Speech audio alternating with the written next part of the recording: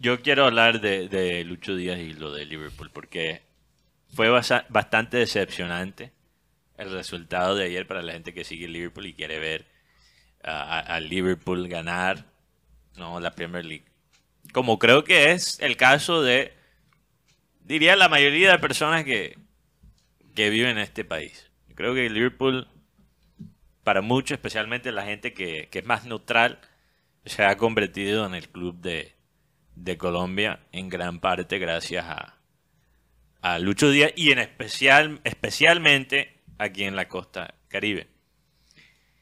Y pese al resultado, que Lucho haya anotado una vez más en un partido importante, en un estadio importante, porque si tú analizas el récord, Lucho ha anotado creo que en casi todos, si no todos los estadios de lo que llaman el Big Six en Inglaterra, o sea, los seis Grandes. mejores clubes de o más ricos, los seis clubes más ricos de Inglaterra, que son Liverpool City, Chelsea, Tottenham, Arsenal y Manchester United y obviamente Liverpool.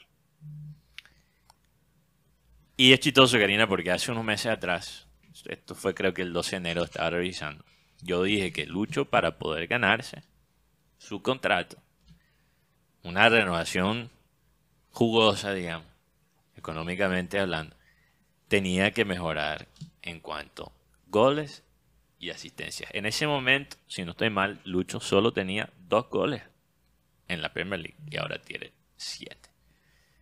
Y en ese entonces ha tenido también como tres o cuatro asistencias en toda la competencia. Entonces, Lucho ha mejorado muchísimo en eso. Y yo nunca le quité el valor de agregado de Lucho, sino que hay que analizar las cosas fríamente, ¿no? Si uno tiene, quiere ganar más plata, tiene que hacer lo más valioso en el fútbol, que es meter goles y poner pases. Él estaba aportando sin meter goles, pero ahora está agregando esa faceta. Y no solo es meter goles, pero la variedad. Cabeza, goles rebuscados, en, en goles en situaciones de pelotas quietas. O sea, el hombre ahora tiene una variedad en cuanto a sus definiciones que yo no veía antes. Y eso lo pone para mí en discusiones sobre quién, si estamos hablando sobre quién es el mejor extremo izquierdo del mundo en estos momentos. Él tiene argumentos.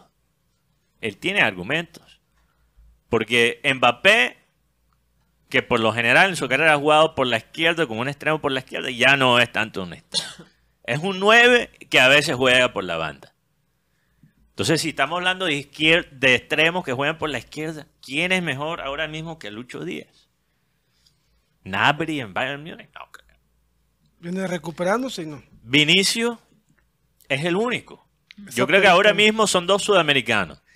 Es Luis Díaz y Vinicio, los dos extremas, extremos izquierdos del mundo. Pero lo curioso, Karina, porque hablamos de goles y asistencias, que de nuevo, repito, son importantes. Pero Vinicius tiene algo que no tiene Lucho. Sus estadísticas ofensivas son bastante parecidas. Pero Lucho gana más duelos arios y es mejor defensivamente que Vinicius Junior. Yo tengo aquí la estadística en la aplicación FOTMOB que compara la estadística de los jugadores con todos los que juegan en la posición. Lucho está, en cuanto a goles, supera 79% de los extremos que juegan en su posición. En disparos intentados supera los 91 al 91%, en toques 66%, en oportunidades creadas 60%, en área ganado 69% y acciones defensivas 41%. O sea, es un extremo completo. Vinicius, excelentes estadísticas ofensivas, goles supera al 94% de los extremos, disparos intentados 84% de los extremos, toques 68%, ahí está. Poquito mejor que Lucho, pero parejo. Oportunidades creadas, 58%. O sea, Vinicius crea menos oportunidades que Lucho.